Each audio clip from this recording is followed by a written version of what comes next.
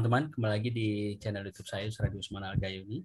Dalam kesempatan yang berbahagia ini bersama kita sudah bergabung Pak Asri Kandi, Kepala Desa Belangkolak 1, Kabupaten Aceh Tengah, Provinsi Aceh, yang baru-baru ini berhasil membawa desanya meraih penghargaan nasional sebagai desa keterbukaan publik. Kita akan ngobrol dengan Pak Asri Kandi bagaimana sampai beliau bisa membawa desanya mendapat penghargaan bergengsi ini yang tentu ini diharapkan bisa menginspirasi desa yang lain yang ada di Indonesia untuk melakukan hal yang sama. Langsung saja kita ngobrol dengan Pak Srikandi. Assalamualaikum Pak Srikandi. Waalaikumsalam warahmatullahi wabarakatuh. Apa kabar? Ya, Bang. Pak Gandhi. Alhamdulillah, Alhamdulillah uh, kabar baik Bang. Alhamdulillah. Nah, ini gimana kondisi di Aceh di Takengon sekarang? Lagi musim hujan? Uh, ya sudah beberapa hari. Uh, biasa setiap tahun di bulan-bulan seperti ini ya, dari Oktober, November, Desember biasanya uh, curah hujan cukup lumayan tinggi lah di Takengon gitu bang. Ya ya ya. Kalau untuk COVID alhamdulillah angkanya menurun ya. Uh, alhamdulillah, alhamdulillah Bang sudah uh, artinya uh, sudah uh, lebih baik dari kemarin ya. Alhamdulillah.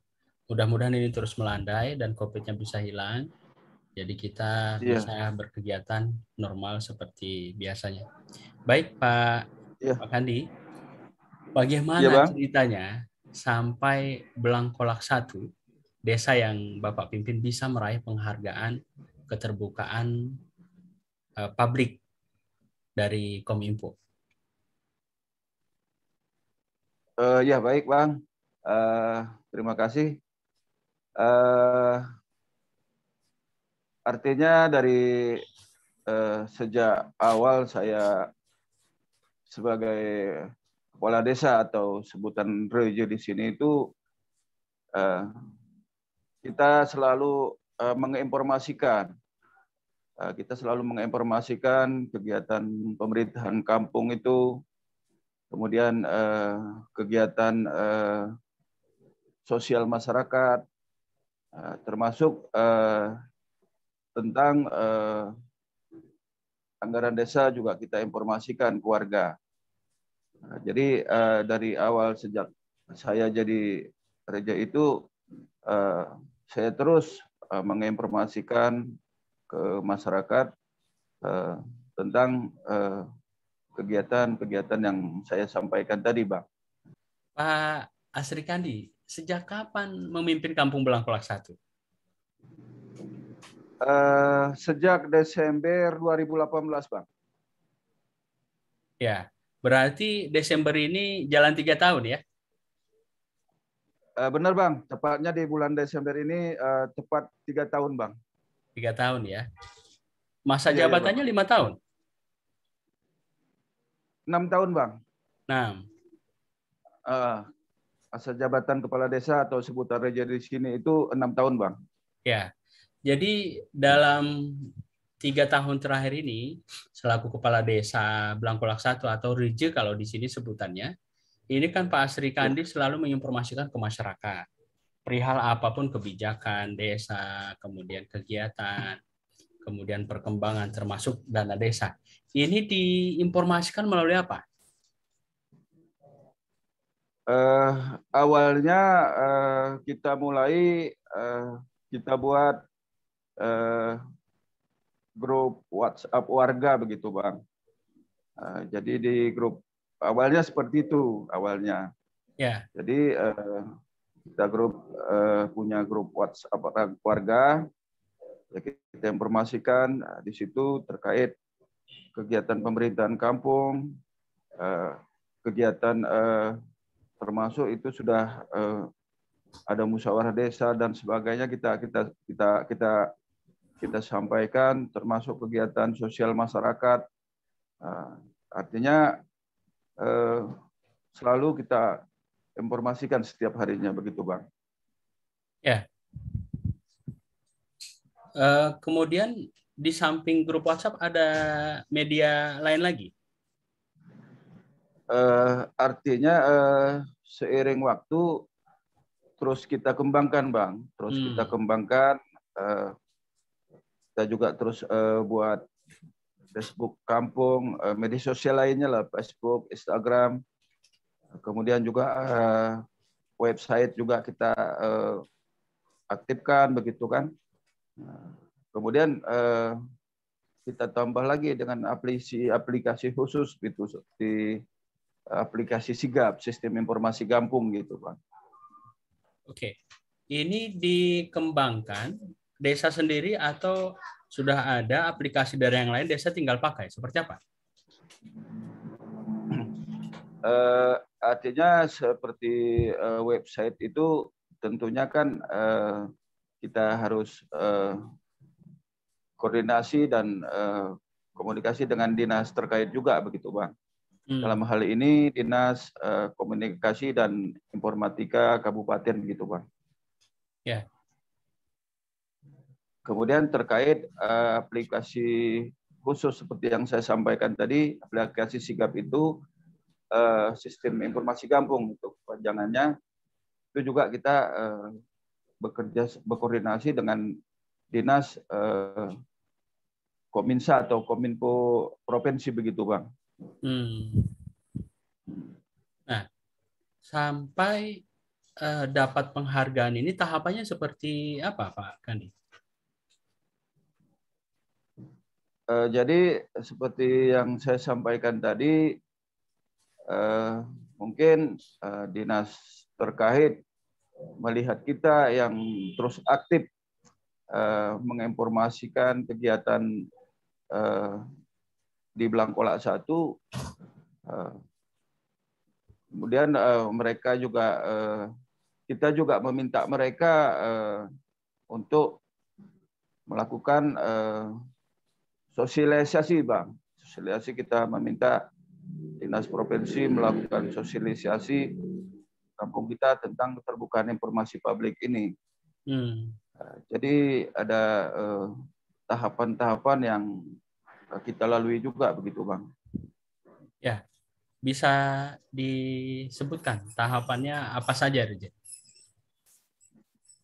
Uh, seperti yang saya sampaikan tadi, karena pertama sekali mungkin uh, dinas terkait melihat kita yang terus aktif uh, menyampaikan informasi ke publik, kemudian uh, mereka juga uh, barangkali dari berapa 23 kabupaten di Aceh di Aceh itu uh, mungkin melihat kita yang mungkin lebih baik begitu bang.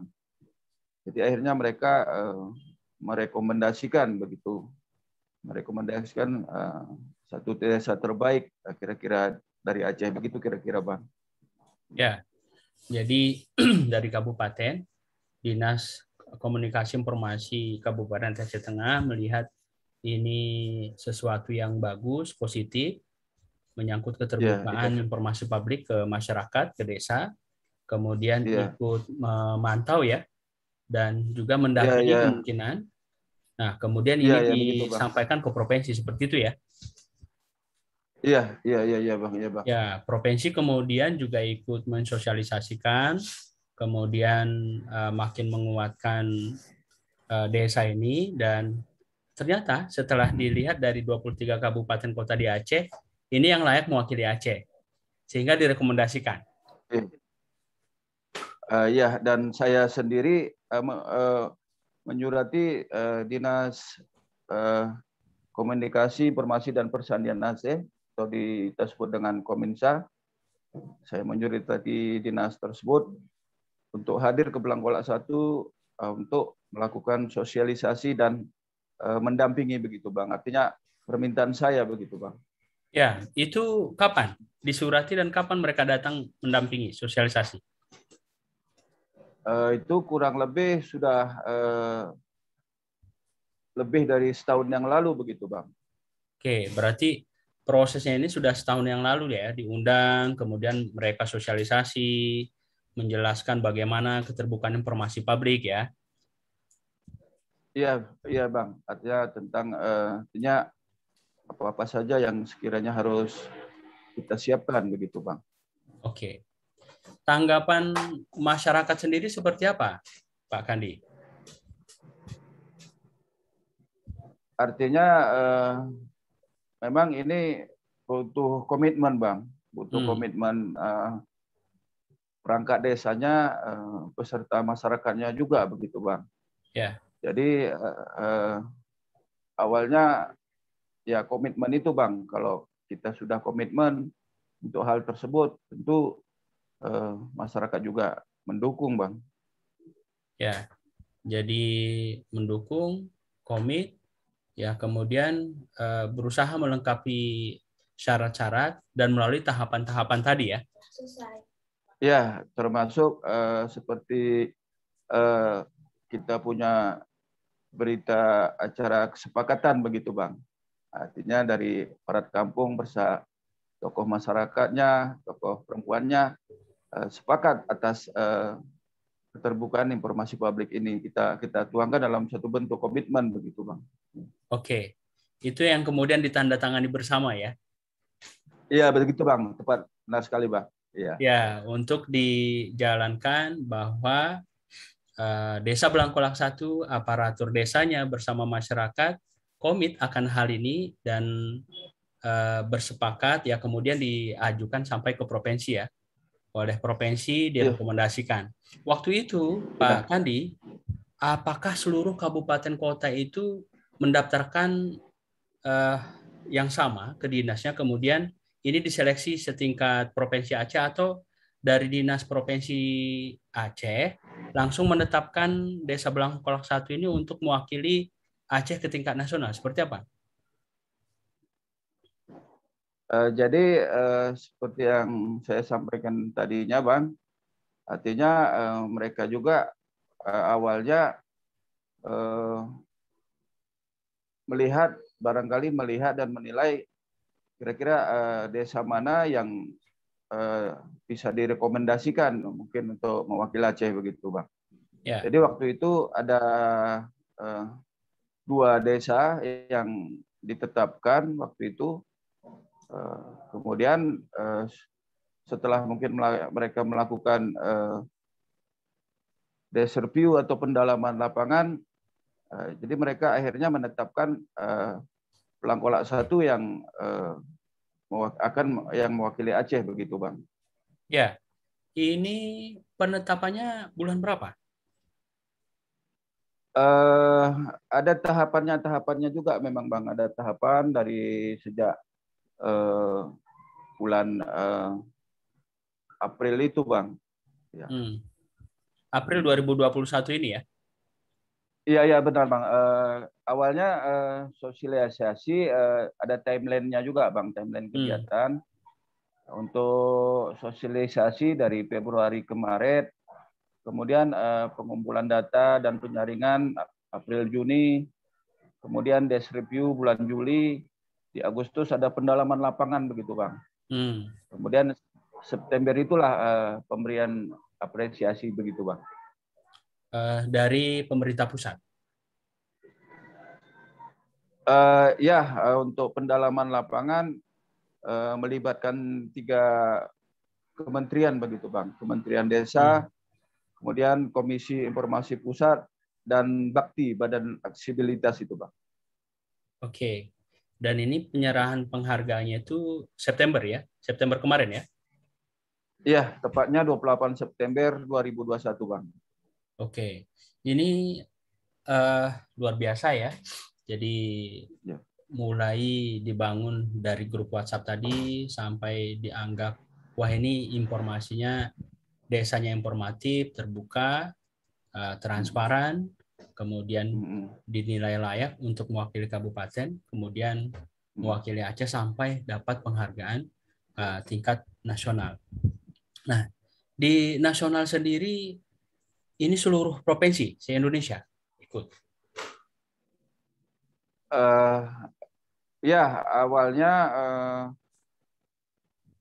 uh, seperti yang mungkin saya sampaikan juga tadi, uh, mungkin uh, dari pihak kementerian juga menilai dari setiap provinsinya. Akhirnya ditetapkan seperti tahapannya mungkin dari seluruh provinsi ditetapkan 10 provinsi terbaik. Oke, 10 provinsi terbaik. Provinsi apa saja? Ya, dan, uh, dan Aceh masuk uh, satu dari 10 itu. Iya, masuk Bang. Uh, masuk. Uh, jadi ada 10 provinsi uh, yang diundang uh, kemarin untuk menerima penghargaan di Jakarta begitu Bang. Ya, dari 34 tadi ya. Dan ya, ya, Kolak satu mewakili Provinsi Aceh. Iya, begitu Bang. Iya, benar Bang. Yang akhirnya ah. meraih penghargaan tadi. Jadi dari 34 diambil 10 saja, begitu? Iya, 10 10 desa terbaik dari 10 provinsi begitu, Bang. Oke. Dan ini sudah tersaring dari seluruh desa tentunya ya. Jadi seluruh desa, ya, 34 provinsi, 34 10 dan satu dari sepuluh itu masuk Blangkolak satu. Wah ini iya, prestasi ya, yang membanggakan uh, warga Aceh secara keseluruhan, uh, apalagi Aceh Tengah lebih khusus uh, Blangkolak satu. Iya, begitu pak. Ya, itu uh, penyerahannya seperti apa dan yang menerima siapa, Pak Kandi?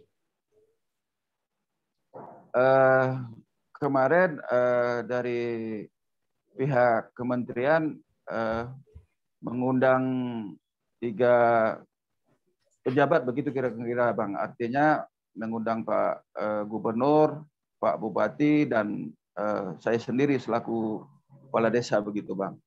Yeah. Jadi artinya uh, ada tiga orang yang menghadiri uh, untuk menerima penghargaan itu begitu bang. Ya, penghargaannya sendiri langsung diserahkan Pak Menteri berarti? Iya, langsung diserahkan Pak Menteri.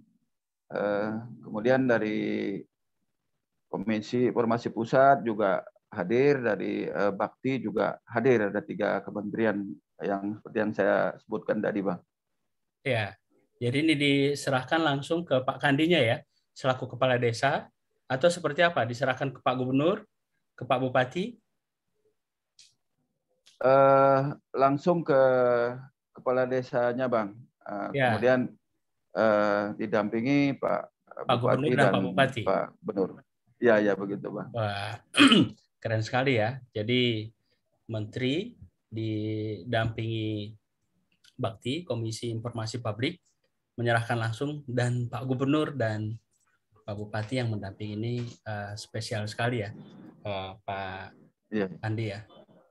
Nah, iya Bang Alhamdulillah. Jadi ini uh, selamat buat Pelangkolak satu, Pak Kandi juga yang berhasil memperoleh penghargaan bergengsi ini.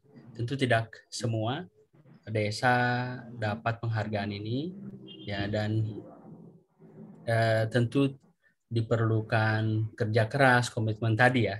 Nah, terakhir iya. nih Pak Kandi, ya, yang bang. mau disampaikan ke masyarakat uh, terkait uh, penghargaan ini, uh, terutama uh, masyarakat Belang Kolak satu barangkali. Uh, baik, kita artinya ya karena ini juga uh, masih tahun pertama barangkali uh, dalam keterbukaan informasi publik desa kita ini jadi tentu juga kita menyadari eh, masih banyak kekurangan begitu bang. Jadi eh, harapan saya kepada masyarakat juga eh, mohon dukungan, masukan untuk lebih baik eh, dalam hal eh, penyampaian informasi ke publik ini. Kemudian juga eh, tadi mungkin lupa saya sebutkan bang artinya ya. di samping uh, di samping uh, media sosial kita juga menginformasikan melalui uh, media lainnya bang di papan informasi kampung kemudian ada uh, semacam uh, baliho juga pada waktu-waktu uh, tertentu. Nah, jadi artinya kita terus uh, berinovasi dalam uh, media media untuk menyampaikan informasi ini. Uh, Pak Srikandi, ada lagi yang disampaikan?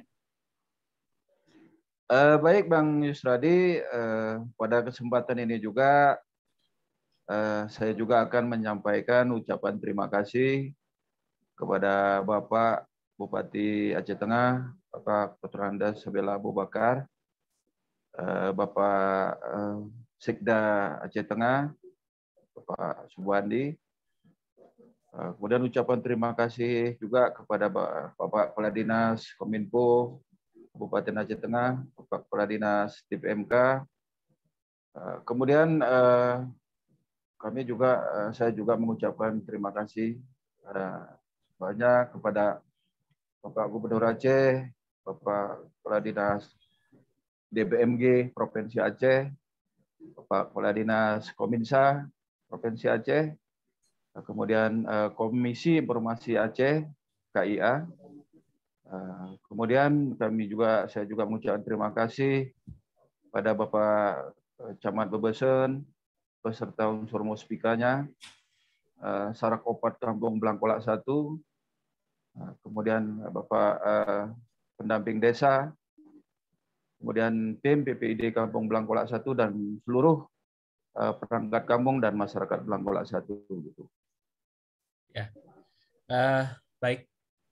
Terima kasih banyak ya Pak Srikandi atas waktunya dan sudah ya. berkenan berbagi pengalaman langkah bagaimana kemudian desa Belangkolak satu ini menjadi desa terbuka dan keinformasiannya itu bisa diakses uh, warga Belangkolak satu kapan pun dari mana pun dan mudah-mudahan ya. uh, perbincangan kita melalui podcast ini bisa menginspirasi banyak desa di Indonesia untuk melakukan hal yang sama sehingga ya hoax, hmm. disinformasi, kemudian kemudahan, kecepatan informasi tadi ini bisa diakses demikian mudah uh, sehingga apa yang dicita-citakan uh, semua pihak terutama uh, negara kita dalam konteks yang lebih luas menuju masyarakat yang informatif bisa Eh, tercapai, masyarakat yang terbuka, masyarakat yang digital native juga bisa terwujud. Dalam hal ini eh, cukup menginspirasi eh, menginspirasi sekali lagi. Terima kasih banyak ya. Pak Asri Kandi, sukses terus. Dan demikian ya. juga buat masyarakat Belangkolak satu, selamat atas capaian prestasi ini. Baik, terima kasih sekali lagi Pak Asri Kandi atas kesempatannya, ya. atas waktu dan sudah. Terima kasih banyak Bang Yusradi. Ya, terima kasih banyak Bang Yusradi. Ya, ya, ya sama-sama. Ya, assalamualaikum. Waalaikumsalam warahmatullahi wabarakatuh.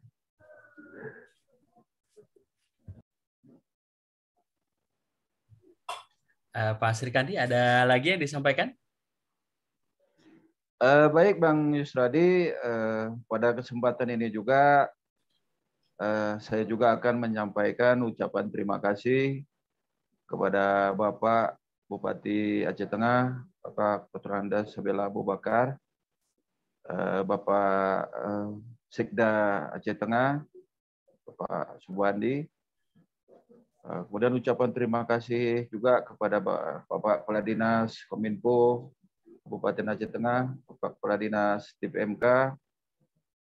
Kemudian kami juga saya juga mengucapkan terima kasih banyak kepada Bapak Gubernur Aceh, Bapak Kepala Dinas DBMG Provinsi Aceh, Bapak Kepala Dinas Kominsa Provinsi Aceh, kemudian eh, Komisi Informasi Aceh KIA, eh, kemudian kami juga saya juga mengucapkan terima kasih pada Bapak eh, Camat Bebesen beserta unsur muspikanya, Sarak Opat Kampung Blangkolak 1, kemudian Bapak pendamping desa, kemudian tim PPID Kampung Belangkolak 1 dan seluruh uh, perangkat kampung dan masyarakat Belangkolak 1 gitu. Ya. Uh, baik. Terima kasih banyak ya Pak Serikandi atas waktunya dan sudah ya. berkenan berbagi pengalaman langkah bagaimana kemudian desa Belangkolak satu ini menjadi desa terbuka dan keinformasiannya itu bisa diakses uh, warga Belangkolak satu kapan pun dari mana pun dan mudah-mudahan yeah. uh, perbincangan kita melalui podcast ini bisa menginspirasi banyak desa di Indonesia untuk melakukan hal yang sama sehingga ya hoax, hmm. disinformasi, kemudian kemudahan kecepatan informasi tadi ini bisa diakses demikian mudah sehingga apa yang dicita-citakan uh, semua pihak terutama uh, negara kita dalam konteks yang lebih luas menuju masyarakat yang informatif bisa tercapai, masyarakat yang terbuka, masyarakat yang digital native juga bisa terwujud. Dalam hal ini cukup menginspirasi menginspirasi sekali lagi. Terima kasih banyak ya. Pak Asri Kandi, sukses terus dan demikian ya. uh, juga buat masyarakat Belangkolak satu selamat uh, atas capaian prestasi ini. Baik, terima kasih sekali lagi Pak Asri Kandi atas kesempatannya, ya. atas waktu dan sudah. Terima kasih banyak Bang Yusradi. Ya, terima kasih banyak Bang Yusradi. Ya, ya, ya sama-sama. Ya, assalamualaikum. Waalaikumsalam warahmatullahi wabarakatuh.